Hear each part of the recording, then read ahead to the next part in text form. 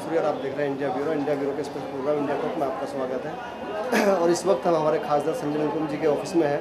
आइए मैं आपको मिलवाता हूँ कुछ वहाँ की जनता से। का काम किया है पानी का काम किया है ट्यूशन किया है कॉलेज के बच्चों के लिए स्कूल के बच्चों के लिए।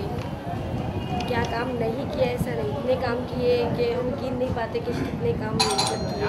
यानी कि गोविंदा जी पाँच साल में उन्होंने ऐसा कुछ नहीं किया। उन्होंने ऐसा कुछ भी नहीं किया जैसे संजय निरुपम जी ने किया। तो आगे पाँच सौ में आप इसके बाद में जो दो हज़ार चौदह का इलेक्शन आ रहा है लोकसभा का उसमें आप किसको एम के रूप में देखना चाहते हैं? हम हमारे खासदार संजय निरुपम को ही चाहेंगे कि वो फिर से हमारे उत्तर मुंबई ज़िले में जीत गया गए टाइम निरुपम साहब को पाँच हज़ार समथिंग कुछ वोट मिले थे। इस टाइम क्या लगता है आपको? कितना मार्जिन बढ़ेगा? कितने वोट से जीत के सकते हैं? आप कम से कम।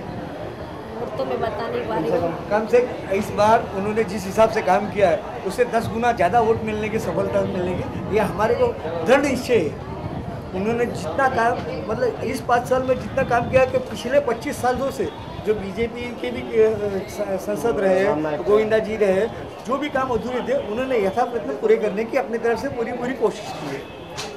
और उनकी एक स्पेशल खासियत है वो किसी उनके पास कोई भी कार्यकर्ता आता है वो चाहे किसी भी पक्ष का हो उनका कार्य निसंदेह कर देते हैं। उनका कहना ये है कि मैं सांसद पहले हूँ। चाहे कोई भी पार्टी का कार्यकर्ता मेरे पास आए उसका काम करना मेरा जनप्रतिनिधि के नाते मेरा फ़र्ज़ है। मनसे वालों का काम किया शिवसेना वालों का काम किया सभी पार्टी के लोगों का।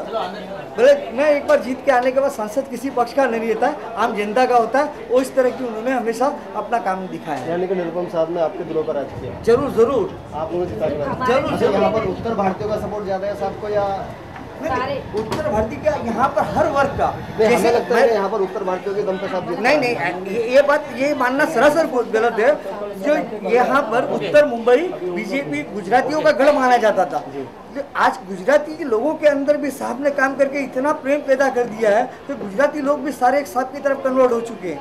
गुजराती हो महाराष्ट्रियन हो अदर जितने भी फैक्टर थे।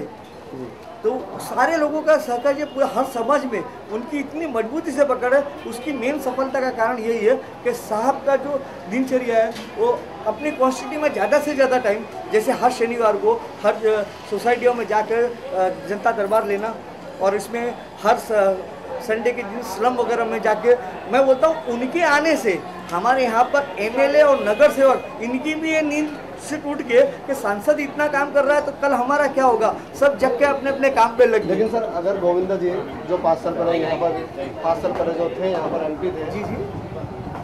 मतलब यहाँ क्या लगता है गोविंदा जी ने जो जो काम किया था?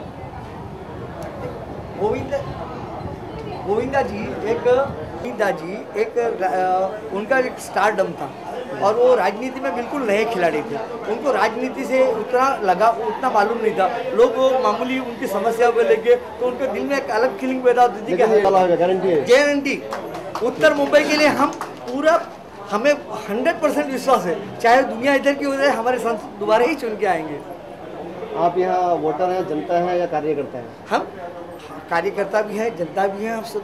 क्यों जनता के बीच में हम जाते हैं तो जनता को हमको रिस्पांस है। हमें अपने आप पे भरोसा है कि हमारे सांसद ने इतना काम किया उसके भरोसे हम बात कर रहे हैं। सांसद दस गुना वोटों से ज़्यादा जीत के हाँ दस गुना ज़्यादा। हंड्रेड परसेंट हंड्रेड परसेंट शत प्रतिशत।